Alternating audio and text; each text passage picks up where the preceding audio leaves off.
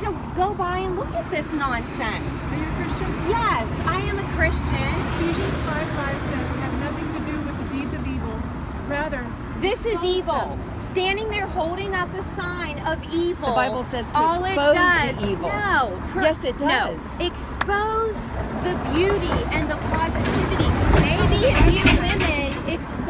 some more beauty and positivity, we'd have more of that in the world instead of people standing around holding up bloody babies. We're interested in following the Lord and what He says. Okay, well, I'm interested in not having to look at a picture of a bloody, poor, innocent victim. Maybe you should I want yourself to a Christian then if you're not interested in doing what the Bible Sweetheart, says. maybe you shouldn't. I don't think the Lord wants you out here holding up a picture of a bloody baby. What Get a life. say? You're not helping your cause.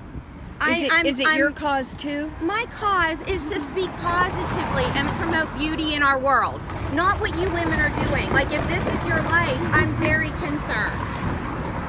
You know, we're out here to raise awareness that this that they're doing this You're to not little raising boys aware- and girls. You're not We raising are. awareness. No, you're Yes, not. because No, you're what not. happens behind closed doors needs to be brought out into the light. The You're Bible not. talks oh about Oh my gosh, everybody knows. All you're doing is making people want to go against you. Show some beauty.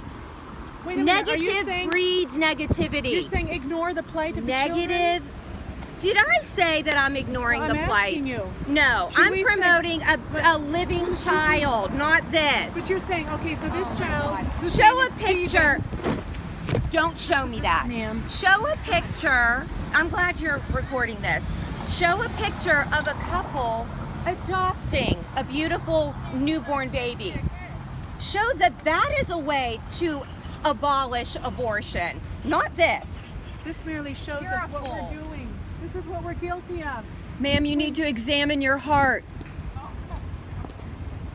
God hates the hands that shed innocent blood. God tells us you shall not murder.